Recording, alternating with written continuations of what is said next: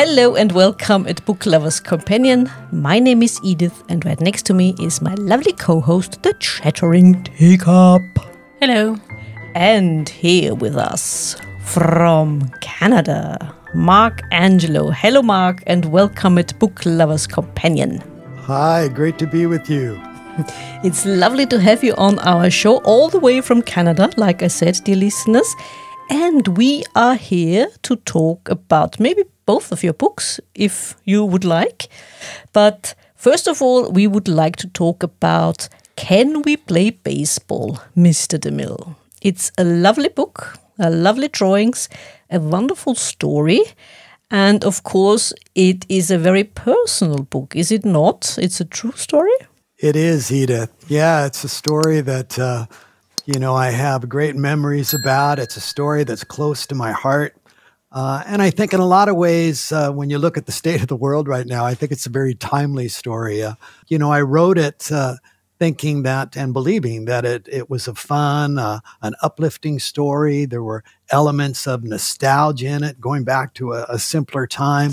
There's even a bit of a, an environmental message I can mm-hmm. talk about a little later, mm-hmm. but it is a true story. Uh, it's from my childhood. It's a story that my brother and I often laughed about, and uh, uh, and it tells of a, a young boy uh, and and his friends and their love of a game. In this case, it's baseball, but you look around the world, it could be a love for any particular game or any particular sport, uh, and it centers on their very difficult search for a place to play ball, uh, which in turn led to this incredible encounter with a, a Hollywood legend. Uh, and I think it's the kind of story that a lot of children can identify with. It's about a shy, determined young kid, and many of us were that way, especially when we were young. Uh, but also, I think it's a story for, for parents in a lot of ways that it will get them thinking back to their own childhood, uh, and hopefully they'll smile in the process. We did smile. Definitely, yeah. And you said it's your love. It's also about your love of baseball. Uh, tell us a little bit about baseball because we know nothing about baseball. We know what it looks like, but that's yeah, about it. That's it. well, you know, for this book, you don't have to be a baseball fan to uh, appreciate yeah. it because, once again, it could be really about any sport yeah. or any game. But for me, uh, baseball is a game I always loved uh, as a little boy. Uh, the book was written in 1958 at a time when the Los Angeles Dodgers had just come to town. They used to be in the eastern part of the country and they decided to relocate to the West Coast and they moved to Los Angeles. And the whole city was incredibly excited, especially young ones like myself. Uh, in terms of the game of baseball, you know, like any major sport, there's lots of wonderful aspects to it. Uh, I always loved the aesthetic of the game. I loved mm-hmm. the strategy. I, I loved even attending games and being in the midst of a cheering crowd. And whether you go to a soccer game or whatever, you know, it, it, it's wonderful to be in the midst of a cheering crowd. Uh, for baseball, I always loved the sounds of the game. You know, if you were to watch a, a game up close, you know, there, there's some incredible sounds. The sound mm-hmm. of a ball hitting a wooden bat, you know, I, I always loved the smack of the ball when it hit the glove or, or the sound of a runner sliding into home.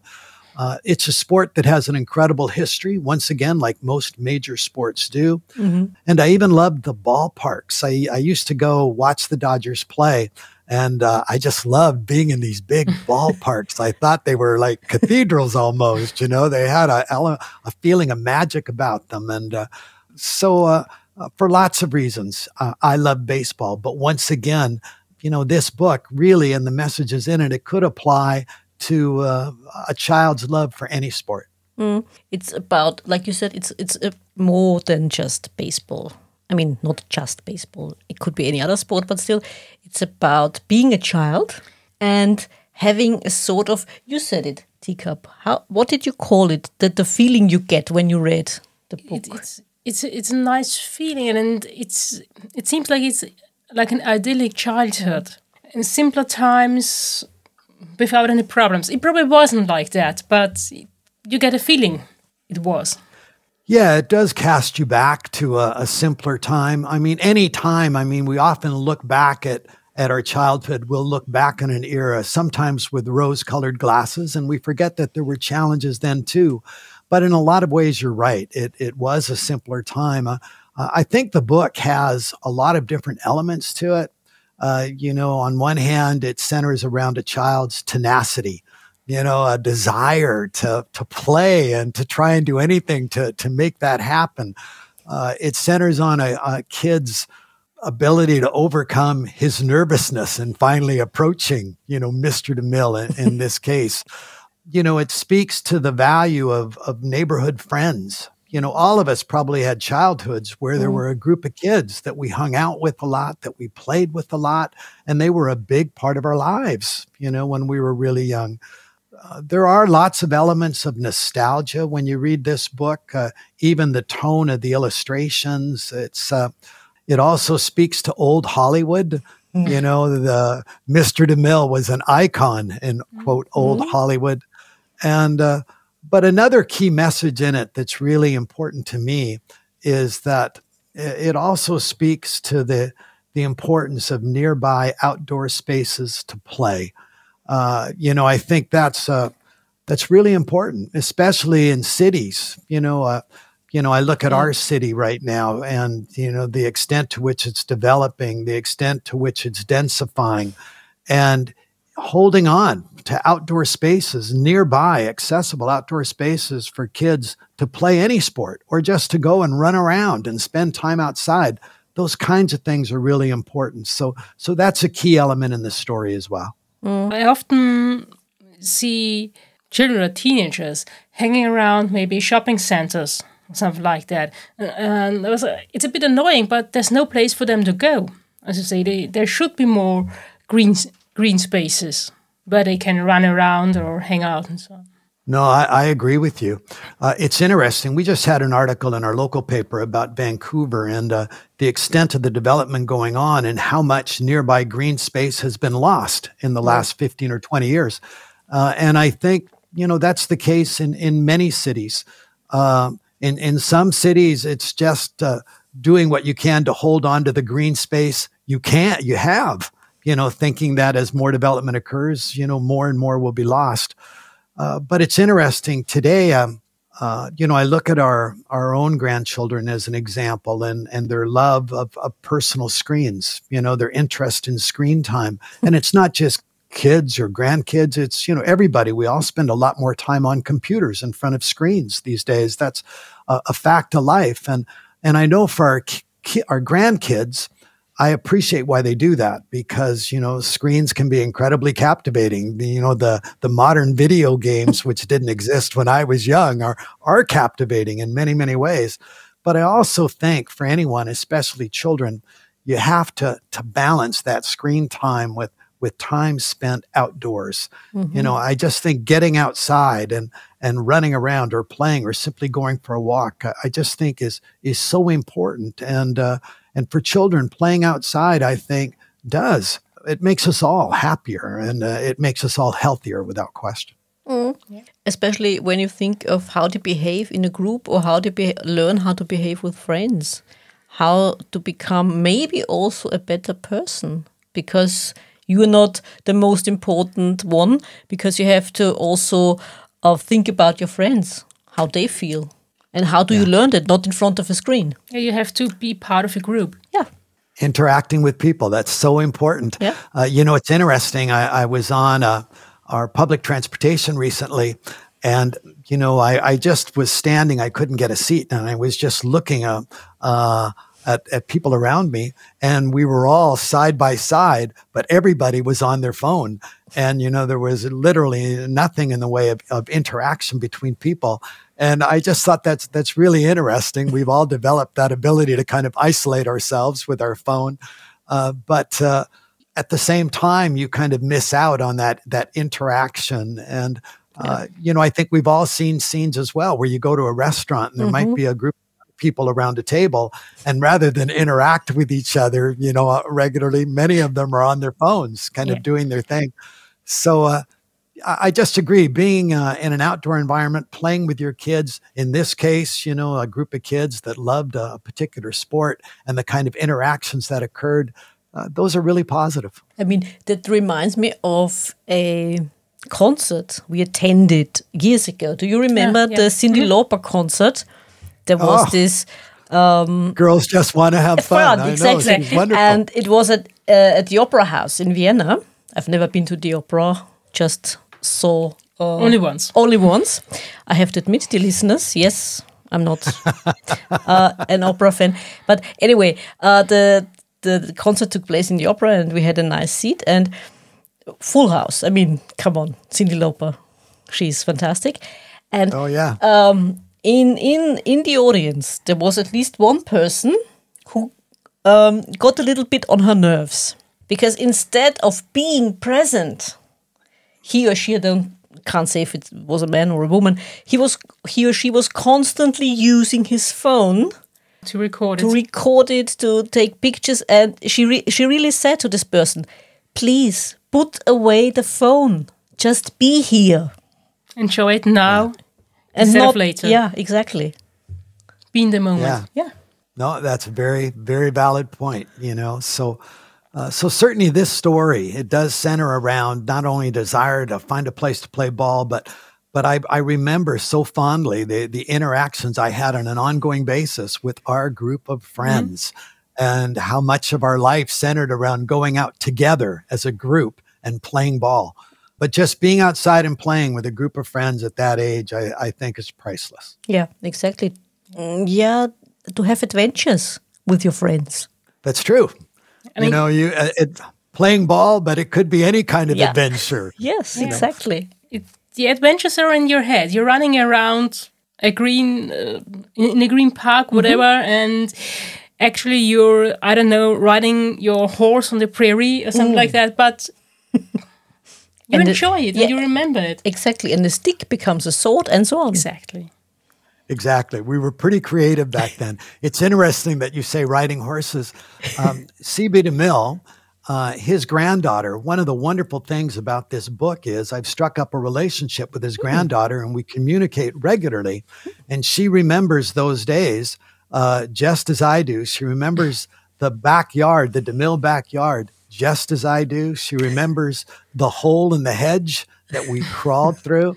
Uh, but we were exchanging notes the other day, and she said, in the same way that we loved playing baseball in his backyard, she would bring all her friends together and she would gallop at the the field had a mild slope to it and she remembers and i love this line galloping down the slope with all her friends on imagined horses which i thought was so cute. You remember the the the, the broomstick and the yeah. horse heads that we had when and she and her friends would gallop down this slope and mm-hmm. pretend you know that they're riding and uh, but we all had incredible uh, we, we, were very creative. We had great imaginations uh, yeah, back then and i'd like to think hopefully we still do. Yeah i think so. I mean like like you said teacup you have to use your own imagination you don't get it on a screen or already there from someone else's yeah, mind it, it wasn't work to do that it's just no. it just was yeah. You created these worlds. Exactly. Uh, tell us about Mr. DeMille. I mean, you've met him in person, so I mean, like you said, he was and he was and still is this huge icon. And how frightening was it yeah. to walk to his door? well, it was frightening for me. Uh, uh, you know, CB DeMille, uh, an amazing man, and if you look up his history, it's quite incredible. He was the, the founding father. He is the founding father of American cinema. Yeah. Um, he had a great career both in silent films and talking films. Mm. You know, uh, in 1914, he made the first full length feature in, in Hollywood, uh, a movie called The Squaw Man. I think you could argue he is perhaps the, the most commercially successful producer director in film mm. history. Um, I think many people have seen his films. Uh, you know, The Greatest Show on Earth was a, a circus film that came out in 1952 that I grew to love. Mm-hmm. Uh, his film, the, the Ten Commandments, uh, it still plays every holiday season. You still see it. Yeah, uh, even here in Europe, sorry to interrupt, oh. even here in Europe, they broadcast it also here from time to time. Yeah, it's uh, uh, he was quite incredible, very successful, but most people knew him in a very formal way through mm-hmm. his work. But this book does put a much more, uh, it puts a very human face on him from the, the perspective of a, a young boy, a shy, nervous young boy who had never met him before. Uh, and I have to say that singular direct encounter I had with him was was unforgettable. But I also remember just as well the nervousness I had in leading up to that encounter. And it's interesting, as you see in the book, when all of the kids decided, you know, I, I had suggested, why don't we go and talk to Mr. DeMille? Well, everybody was nervous about doing that, you know, because obviously he was a very famous person. He's yeah. a person that nobody had ever met before, uh, amongst our kids anyway. Yeah. And while everybody agreed to do that, but when we got up to the, the foot of the stairs, none of them wanted to go. And in effect, I got deputized and I ended up going on my own. And uh, so I put on my trusty Dodger cap. I, I, I gulped a few times and I slowly, slowly, you know, made it up the stairs. Uh, but even I remember pushing that doorbell. I was so hesitant to do it. And when I finally did it, it was my heart was beating, you know, uh, gosh, I don't know, 200 times a minute or something like that. and who was more intimidating in the first moment, the butler or Mr. DeMille? Yeah. Well, when the door opened, you know, I was nervous as it was, but when I met the butler, and he did have, I, I, say in the book, I remember it so well. He had the deepest voice, and uh, and he was large. Now, mind you, I was quite small, but uh, uh, when he opened the door, I was, uh, yeah, I was very nervous about him as well. But anyway, I said, as I state in the book, I told him why I had come, and and he said Mr. DeMille was was not available. And I tried again, and he said, "I'm sorry, Mr. DeMille is not available." And I said, "Thank you," and I turned to walk away. And then I heard that voice in the background show the young man in, and uh, and then I thought, "Wow, did I really do the right thing in coming here?" But uh, anyway, I turned around and uh, once again, the butler just kind of led me in, and and the rest of the encounter is is detailed in the book. But but I remember it so well. It was so many years ago, and yet I remember it like it was just a few years ago. Mm. What I found interesting is that he seemed to live in a normal neighborhood, even though he was that famous. Because nowadays I have the feeling that famous people live apart from regular mm. people. Well, it's interesting that you say that because I mean, I loved the neighborhood we lived in. You know, it was it was a beautiful neighborhood, and his house, as I mentioned in the book, was spectacular. It was the largest house I had ever seen. But back then, uh, none of the roads were gated. Mm-hmm. You know, it wasn't a, a, closed, isolated community. You know, my friends, if they wanted to come over to my uh, to my house, or you know, they could just bike up the street. I mean, the, there were no gates. You know, mm-hmm. there were no kind of obstacles to the movement of people Whereas now, and I think it's just a sign of the times, unfortunately, but you do see more and more communities that are gated, that are isolated, that uh, you know are separated, mm-hmm. and uh, and I understand perhaps why that's the case, but it's also unfortunate to see more and more of that. Also in Canada, in Vancouver, where you live. Not so much where I live in Canada, mm-hmm. no, but uh, but I do go back to Los Angeles you know, and, and other cities in the States and gated communities in, in some big American cities, and particularly in places like greater Los Angeles, mm-hmm. are a fact of life now. But we don't, we do not have as much of that here. Mm-hmm. We have very little of that here in, uh, in Vancouver or Canada for that matter. Is it, is it due to, maybe it is, probably, to the crime rate in the United States compared to Canada? It might be you know that's uh, but i do know security is probably a, a major reason behind the push for gated mm. communities particularly in, in some of the the more expensive parts uh, uh, of the city and uh, but once again when i was young that did not exist you mm. know there were no gates and uh, uh, and pretty much everything was accessible and that was one of the the great things about that era you know there wasn't a, a perceived need mm-hmm. or, or, or, not the same um, concern about security as mm-hmm. there is now. When did that change in your estimation? Oh gosh, you know, I I think uh, you know it was a pretty innocent world in a lot of ways. It wasn't a perfect world by any means, mm. but in in the fifties, it was a pretty innocent world in, in lots of ways. but you know, getting into the 60s and 70s and 80s and and perhaps even more so now, uh, you know, things have changed.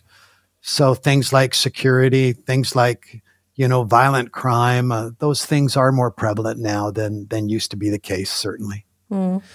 As you said, uh, it were innocent times, and children back then had an innocent childhood at least most of them.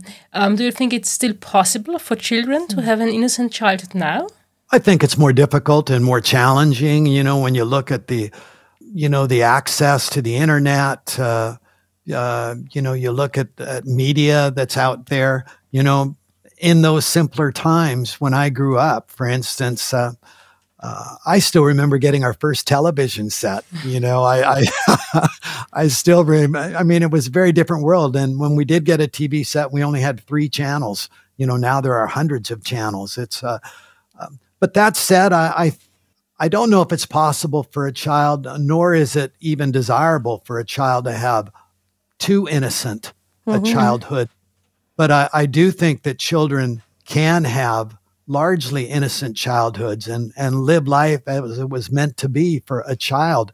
Uh, I do think you know parents have a huge influence on that. I think schools have a huge influence on yeah. that.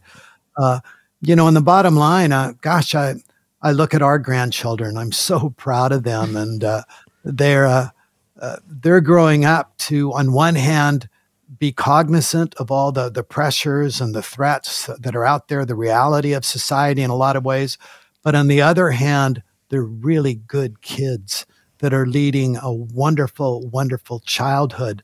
Uh, uh, and I'm so happy to see that. So, yeah, I do think that's possible. Uh, you know, it's interesting. Um, a few years ago, mm-hmm. I was in inspired by our grandkids to start writing children's books because I'm Ooh. such a believer in getting good messaging out to mm-hmm. kids. Mm-hmm. So much of my life, I've focused on communicating with older audiences, with university students, with post secondary students, with, with adults. A lot of the articles that I've written have focused on older audiences. But watching our grandkids grow up, I, uh, I just think getting messaging like this out to kids is so important. My first book had very much an environmental focus, mm-hmm. once again, geared towards kids. And I have had the pleasure of, of dealing with and getting to know so many young children that are incredible in so many ways that that does make me optimistic about the future. Uh, I was a teacher for a long, long time, and I and I look at a lot of the students that that I taught that have gone on to do wonderful things. Uh, they make me optimistic, more optimistic about the future. So uh, we have challenging times in lots mm-hmm. of ways, but I'm still a great believer in youth.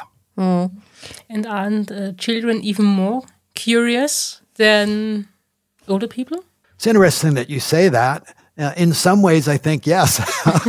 Uh, you know, I uh, I talk to kids, uh, school groups, a lot of times about the environment I take groups on on tours of local creeks and streams. I talk about water and mm-hmm. um, and their their interest, the extent to which they're inquisitive, uh, the extent to which they ask questions, uh, their interest in environmental issues. Once again, I find inspiring, uh, encouraging, uh, and once again, I optimistic in that when it comes to the environment, they may well do in the end a much better job of caring for the environment than my generation did. Hmm. Interesting that you say that. And the book you are talking about, is it The Little Creek That Could? The first book I wrote was mm-hmm. called The Little Creek That Could. It's a story that uh, centers around a stream very close to where I am right now that 50 years ago was incredibly polluted. Hmm. It had been stripped of streamside vegetation. It, uh, it was filled with litter and debris and old furniture. It was literally a dead creek.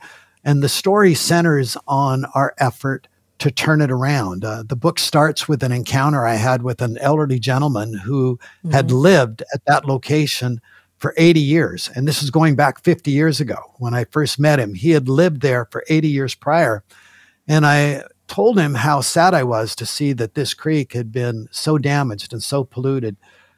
And he responded by saying, Son, it wasn't always this way.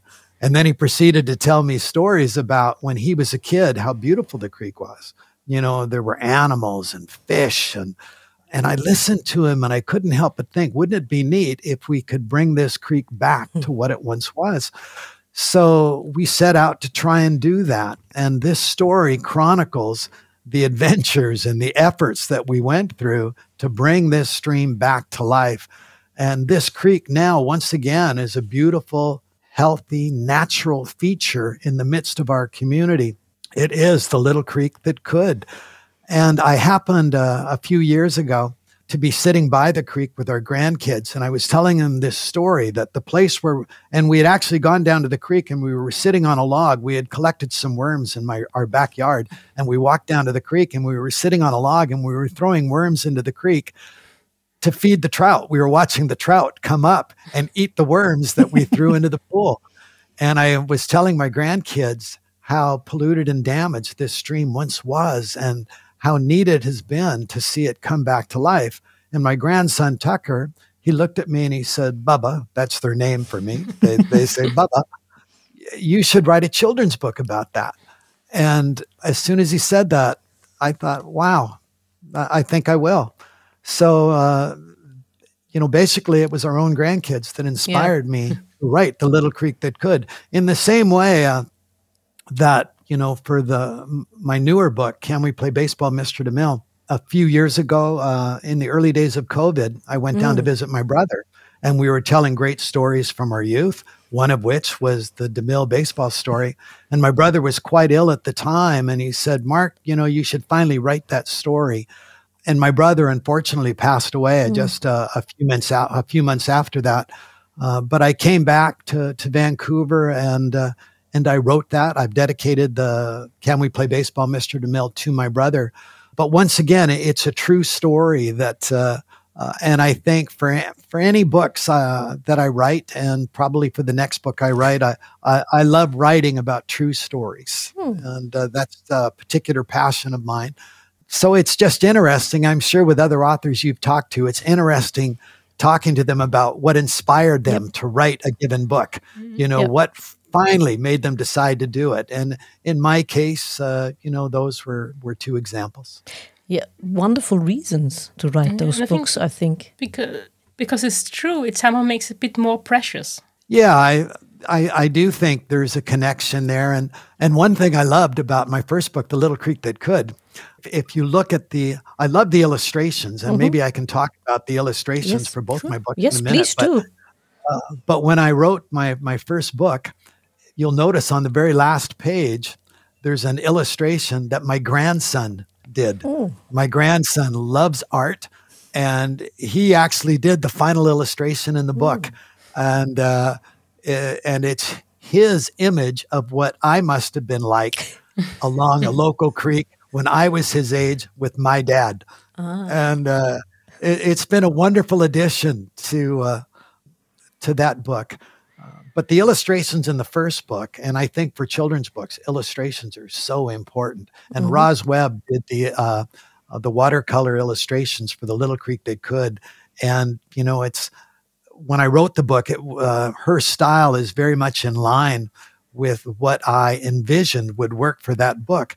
And I actually, you know, met Roz online. She is an illustrator and an artist that lives in Ireland. Mm. And we struck up this great relationship and, you know, would talk remotely uh, about these illustration and worked as a team. But that's a wonderful thing about technology today, where you can strike up partnerships with people halfway around the world. Um, in terms of the illustrations for Can We Play Baseball, Mr. DeMille, those illustrations, uh, they're by Patricia and Robin DeWitt. They are artists that live in the eastern U.S. And I had seen examples of their work before. They did a book a few years back called uh, uh, Brave with Beauty, a story of Af- uh, Afghanistan. Mm. And I saw the illustrations and I loved their style. And I thought, wow, you know, their work could fit in really, it could fit in perfectly with what I envisioned for mm-hmm. the DeMille book, uh, in that their work, it, it has a great feel to it. It's got a very nostalgic look, you mm-hmm. know, the work they did in, in this case. Uh, I love their choice of color. The colors uh, in this book are a little more muted, but once again, uh, help to give it that nostalgic feel. Mm-hmm.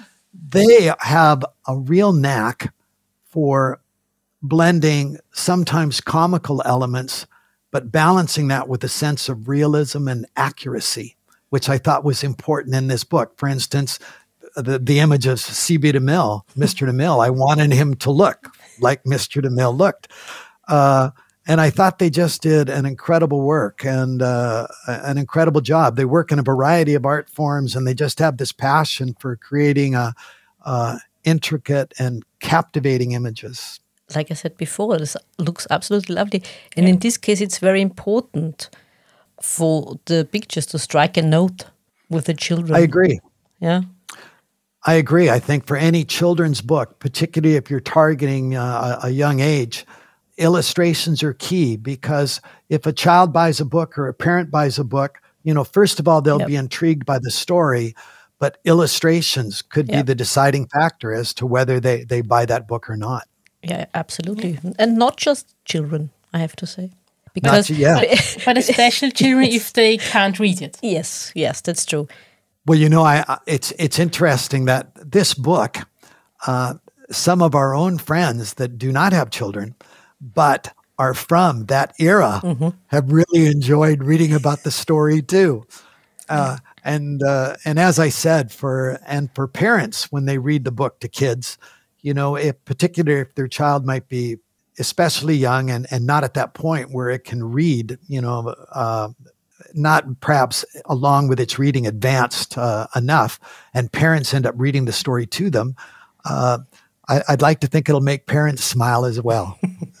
There'll be messages in there that they can that yeah. resonate with them as well. Yeah, absolutely. Okay. And like you said, it's so important for parents to read to their children and um, to tell stories. And also, it is so sad. I mean, it happened to us as well on occasion when we are on the on the, on a train or on the underground, and people constantly constantly look at their mobile devices instead of interacting with their children. They are so busy looking at their phones and ignoring their children. And I once saw a father on a train, which was interesting because uh, you see that rarely these days. And he had uh, a small rucksack for his son, and I think he was in kindergarten or primary school or something like that. And he had uh, a selection of books there. And he said, "Okay, you choose, and I will read it to you on the train." And uh, and I thought that's nice for a change. Once in a while, while you see something, yeah. It's also sometimes, only very rarely, you see children just taking a book and read. Yeah. yeah. And it's it's lovely to see. Okay, some still do it. Yeah, you know, it's interesting. Uh, you know, our kids and our grandkids, they love reading, which I'm so excited about. I, I just think to spend time reading books is wonderful. Uh, and uh, I think once kids get to be nine or 10 or 11, you know, I, I think some may get to a point where they drift away from books a yep. little bit, but parents can play an important role in trying to, to keep their interest in reading going. But uh, I remember when our kids were young, I used to love reading to our kids uh, at the end of the day or before they went to bed. Uh, I know that our kids read to their kids uh, quite often, and it's a great opportunity for parents and children to connect, to interact. Uh, and, uh, you know, I remember when I was little, I have great memories of my parents when they read stories to me. So, yeah, yeah that's, uh, I think we should take advantage of that and try and do that whenever you can. Exactly. And sometimes it's, it's just a question of finding the right book because before we started the recording, you asked me about the beginning of our podcast, and the friend I mentioned, he always said, "Ah, I didn't enjoy reading. You know, it was kind of boring." Until one of his school friends gave him a sort of graphic novel about adventures on the high seas, and from then on, he was hooked, and he really yeah. enjoyed uh, everything about adventurers, especially those going on ships and sailing the seas and so on. And that's what did it for him. But you have to if you find the right book. Yeah. Yeah. You find the right book. Kids develop a passion about following a certain book. And, you know, gosh, uh, you know, I think of all the different kinds of books that our kids have read. Uh, if it's something they're passionate about and if the content hopefully is appropriate, you know, uh, and and it inspires or encourages a child to read, I, I think that's wonderful. You know, I talk to our own grandkids, or when I go to a school and mm-hmm. I talk to a group of young children, and some of the questions I asked, you know, the, some of those questions are so sophisticated. The vocabulary mm-hmm. is so good. Uh, and a, a, lot of them have vocabulary that's far beyond what I had at their age. And I'm sure a lot of that comes from reading, yep. the fact that they've developed this interest in reading. And uh, so I, am just uh, a, yep. a, real fan of that. And I love the fact that there are podcasts like yours out there, a book lover's companion, you know, that talk about books that hopefully will encourage people to, to read even more. And uh, yeah. And I have to admit, dear listeners, we're also glad about this podcast because we have discovered so many authors which we wouldn't have discovered otherwise, especially those who are independently published authors. I think that's that's wonderful. You know that uh, uh, to profile authors like that. You know, I mean, I'm thrilled to have the opportunity to talk to you as well. Uh, so it's uh, yeah, but you know, it's uh, uh, you know, I look at this story, and uh, you know, my my hope is that not only my first book, but uh, Can We Play Baseball, Mr. DeMille, as well, that it's a, a story that a, a lot of children will identify with. Uh, it is about does center on a kid's, a child's desire to play, his determination, his nervousness that he had to overcome. And I think all of us at some point in our lives mm-hmm. had a great degree of nervousness yep. before a particular event or, or before we had to approach somebody or yep. somebody we wanted to talk to. But for parents, uh, yeah, my hope is it'll cast them back to a simpler time, to those years in their mm-hmm. youth when their summer centered on playing with friends and uh, those were pretty special times that certainly make me smile. uh, uh, as far as my overall objective of the book, you know, basically I wanted to produce a fun book with some good messaging in it, uh, something that parents could read aloud mm-hmm. with their children, and after and uh, after which that hopefully they could have a bit of a conversation mm-hmm. about the story. Uh, and I think that's a wonderful thing about reading with your kids too. If you can read them a book or read them a story and then hopefully have a bit of a discussion about mm-hmm. it. Uh, just a, a, great opportunity for parents and children to interact and communicate. You said it's important uh, uh, that children not only read, but not at home, not only at home, but also schools have a, a role to play. Do you think that it should be more important for schools to focus on things like reading, writing, uh, instead of handling all those electronic devices. Mm. Because I think there is a reason why all those Silicon Valley CEOs and the employees send their kids to schools where they do not use those devices all the time. All the time, yeah. You know, it's it's interesting. I I think of uh, children today you know, to feel comfortable with devices, to have a knowledge of them, I think is really important. But, you know, I'm, I'm just such a believer in the importance of reading and, and writing and communicating because whatever you do in life, communicating is always mm. a key aspect of it. Uh, uh, and I, I, think that if you can communicate well, if you can express yourself well, uh, I think that will open lots of doors mm. for, for anybody as life goes on. And a, a lot of those skills can be developed by reading. Mm-hmm. Uh, you know, the other thing I, I just want to mention, uh, uh, it's interesting. Uh, I know that I often read on a computer or a tablet or whatever, but for me, and maybe this is a reflection of the era that I grew up on, but I love a real book, having an actual real book in my hands and to be able to turn the pages there's something about that that simply can't be replaced. And it's part of the wonderful experience attached to reading, to actually hold that book. And uh, yeah, so that's something I hope is uh, is never lost. And, and I don't think with electronic devices, be an ebook reader or a tablet, um, you have these covers, oh. and the covers somehow reflect a book. So I guess more more people than you um, have that feeling. Yep.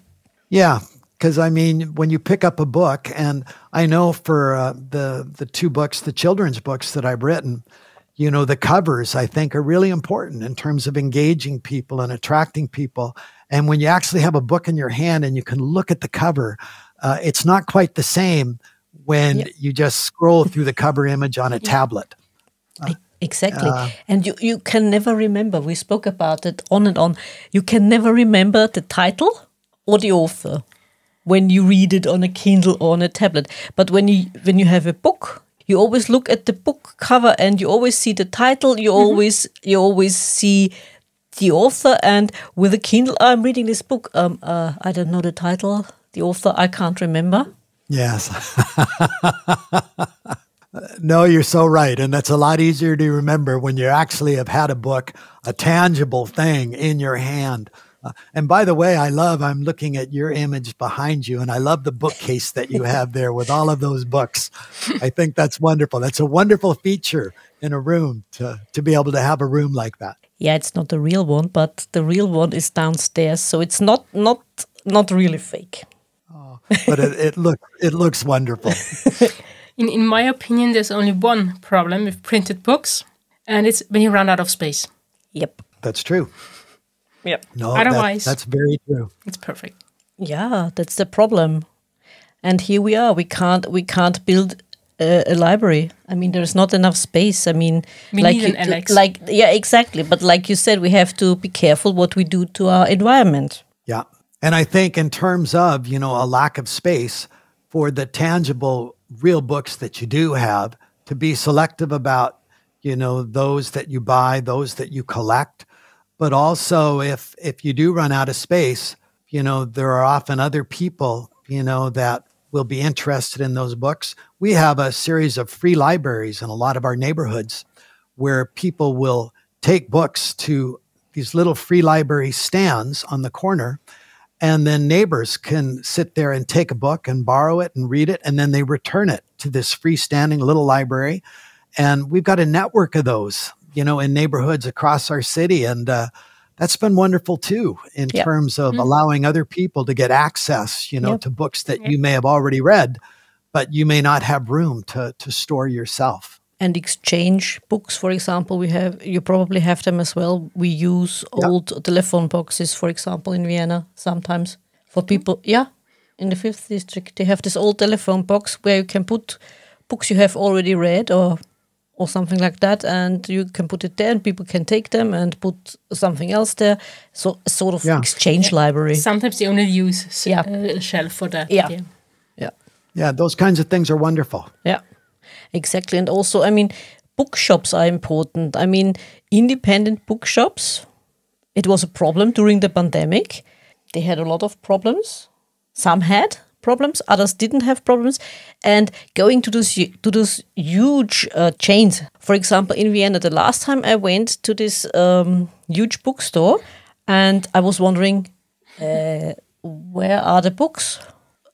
There was a lot of, of merchandise, you know, all and, kinds and, of, yeah. of gifts, stuff, stationery. Yes, but but where are the books? Yeah, yeah, and you're right. That's part of their marketing plan and uh, their uh, their their economic strategy that you know they do focus a lot on merchandise, perhaps as much so as they do books. So yeah, yeah that's a good observation. I mean, I do understand that uh, Amazon is a huge problems for bookshops, but still, I mean, independent bookshops, for example, in the in the United Kingdom, they are thriving. At least some. Some of them, and here they, they are exchanging books for like we said, merchandise. I mean, come on. Yeah, yeah. No, it's interesting. Uh, uh, but some of those small independent bookstores are fascinating places to go into, and uh, and wonderful, uh, wonderful places to to go into. Uh, uh, you know, we were on a trip in Portland not too long ago, and in the downtown area, the the old town part of Portland, I walked into this large bookstore, and Oh, it was just fascinating. I kind of I could explore the shelves for hours. It was uh, it was wonderful, and mainly books. But they also had a section on National Geographics, and they had National Geographics going back to like 1899. And uh, I just uh, anyway, it had a wonderful feel to it. I could have explored it for hours and hours and hours. The first way for me when we are in London is to a bookshop. Good for you. Yes, yeah. and I have never enough time. She always puts me there. The teacup puts me there, and she does her tea things. And you, you, yeah, I then I go to the bookshop. yeah. Little Edith is in the bookshop and has time to explore. Never enough time because two hours later she's back and I haven't even started. I mean, oh, I think that's great. Yeah, I think that's wonderful. The only problem is we have to carry it back. Yeah, that's the only problem. Yeah, yeah, indeed. You know that that's the only problem, and that's always a problem when we go to events because we went to events in the UK where it's all about books. And yes, usually we come back with loads of books and even longer lists of uh, books, books we want buy. to read. Yeah, we want to read, we want to buy, and so on. Yeah, well, what can one do? Uh, Mark, oh. what is your advice for other authors, children's book authors? I think if, if you want to write a child's book, you know, write a story that uh, that you're passionate about yourself, you know, because your own passion will be reflected in the story that that you write. The uh, uh, certainly, as we talked earlier, giving thoughts to illustrations, you know, that I think that's important.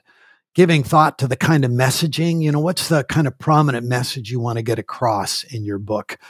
It's um, but you know, I think the the idea of writing children's books uh, it gives me such pleasure. It's a relatively new aspect for me because, as I said, most of my career I focused on on writing and communicating with with older audiences, and uh, and I've totally enjoyed the experience of writing my two children's books and and dealing with with children and you know dealing with programs like yours. It's been it's been such a, a great experience. So I, I think writing for children, putting together a children's book can be such a rewarding experience.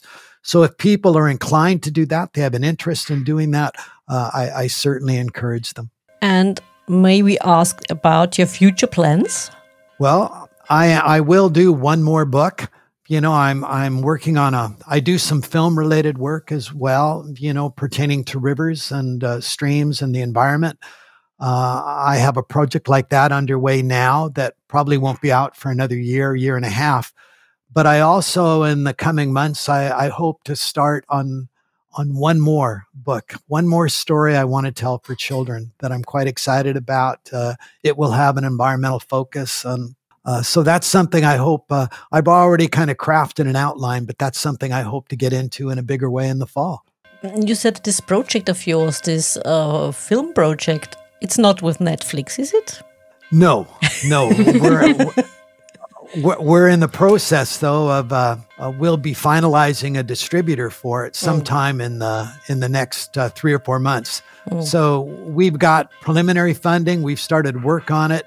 And uh, so, in, the coming six or seven or eight months, we'll focus on the completion of fil- filming and, and then finalizing uh, a, an option for film distribution. Mm. Okay, I'm just asking because, you know, who knows? Maybe they're losing too much money these days. Who knows? With a certain yeah, no. So we we don't have a, a firm uh, a firm plan yet on how we're going to distribute it. You said illustrations are important, especially with children's books, especially for the younger for the younger ones. And I have again to say that not just yeah. for the children, it's important because I have to admit that the most recent book I bought in German, it's been a long time since I bought it. I bought it because of the cover. Not just oh, not not just the blurb on the back, but also because of the cover and the illustrations. Yeah. The illustrations, yes, they are they are lovely. And how shall I say? Yes, it it, it has a cat on the cover. hey, well, good for you. I can understand that. but you know, it's interesting what you say about covers, cover design, and not just for children's books, but for any book. Cover design is another, sometimes uh, that, that's something that's not always appreciated to the extent that it should be. But that can have a big influence too on somebody's decision to purchase a book or not. Yeah, or at least to influence picking to pick to pick the book up. Sorry, because there are lots of books in a bookshop, and in you walk if you walk past and the cover catches your eye, you pick it up and turn it around. If it doesn't, you don't, Yeah. and then you won't buy it. No, Do you do you think very valid point. Yeah, do you think that visuals regarding covers for children are more universal than for adults? I'm always think you know, Teacup, I'm always thinking about um, this crime novel by Mari Hannah. You have this um, you have this European uh, edition, which is perfectly all right in my in my opinion. Then you have the I'm sorry to say that, uh, dear listeners from the United States, this United States edition, and there is a silhouette of a woman in high heels, a short skirt, and a weapon in her hand. I mean, British police, no. Well, you know, from my experience with covers, we gave a lot of thought to, you know, the covers that we would select, uh, that we finalized, that we went with. Uh, most importantly, I wanted them to be a reflection of the story. I wanted them to be images that I thought were were attractive uh, and colorful, uh, reflected the story. Uh, something that uh, both a child and a parent would look at and say, "Hey, this looks really interesting." And it's not just the cover image, but even the title itself. To you know, giving thought to the actual title of the book, uh, another important element. Uh, and you know, um, the uh, yeah, and I grappled with that a lot for both books as to what that would be. But in the end, I'm I'm really happy with both covers and how they turned out, and I, I think they they proved to be successful in terms of you know the intent, the objective, in terms of attracting readers. And, uh, but but you're right. For anybody that writes a book, those are things you have to give a lot of thought to. And it's uh, what astonishes me astonishes me all the time that if books are translated, when books are translated, they usually also change the cover. And Yeah, but you can't speak of a translation. I mean, from from British English to American English, there's not No, a translation. yeah, but from English to German. Yeah. and also the way covers are designed. The British mm. covers have a different way mm. uh, than the German covers. Mm. Completely, I can't explain it, but they look completely different in a way.